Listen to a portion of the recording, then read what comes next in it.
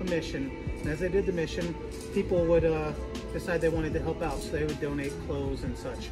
But as you see, you and I don't wear the same size clothes, so they couldn't necessarily use all the things to help. So what they decided to do was use part of the building to sell items to get the things they did need, toothpaste, things like that.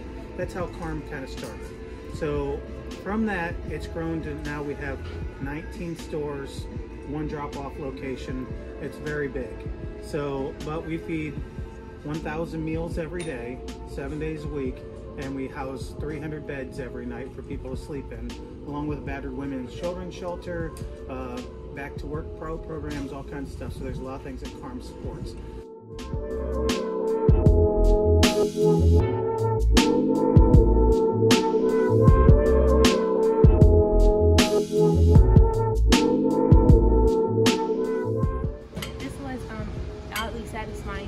To actually organize things and put things where they're supposed to go, like you see.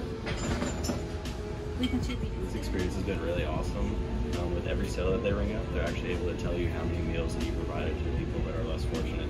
I think that's been one of the biggest things is that we're helping contribute to those meals. They, they've just had, it, had us been stocking the shelves with uh, their donations. And, uh, it's been really relaxing, I had a really good time here. Uh, it was really fun helping out and making a difference. Uh, it was cool to learn that um, for every $2 provides a meal for someone in need. And it was really easy to come here and volunteer, spend a couple hours.